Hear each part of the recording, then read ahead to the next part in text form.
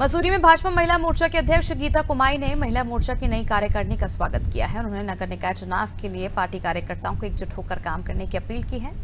इस मौके पर कैबिनेट मंत्री गणेश जोशी की धर्मपत्नी निर्मला जोशी का भव्य स्वागत हुआ। वहीं आगामी चुनाव के लिए एकजुट होकर काम करने की अपील की। उन्होंने कहा कि सभी कार्यकर्ता एकजुट होकर रणनीति के तहत काम करें, जिससे कि नगर पालिका का चुनाव भारी मतों से फतेह किया जा सके।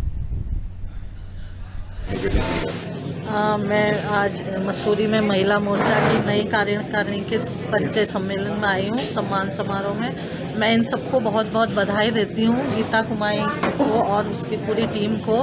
और मुझे पूरा विश्वास है कि जो नई कार्यकारिणी बनी है, वो बहुत अच्छी बनी है और वो बहुत अच्छा आगे काम करेगी, मुझे पूरा विश्वास है और मैं सबको बधाई देती हूँ। मसूरी से मुझे खासा लगा है, मसूरी से मुझे कोई भी बुलाता है किसी प्रोग्राम में तो मैं आती हूँ। कभी आज तक ऐसा नहीं हुआ कि मैं मसूरी में मुझे बुलाया गया और मैं ना आई हूँ, क्योंकि हम मसूरी को अपना एक परिवार समझते हैं। परिवार के उसमें हमें अपने भाई बहनों के हर सुख दुख में सम्मिलित होना अच्छा लगता है, क्योंकि हम एक परिवार हैं, हम कोई ऐसे कोई नेता वाली बात नहीं हमारे पास आ, हमारे लोकप्रिय विधायक गणेश जोशी जी हैं तो हमें ऐसा लगता है बहुत आसान है सब कुछ। क्योंकि जब भी कोई समस्या होती है तो उसके निस्तारण के लिए सदैव उनका सहयोग मिलता है।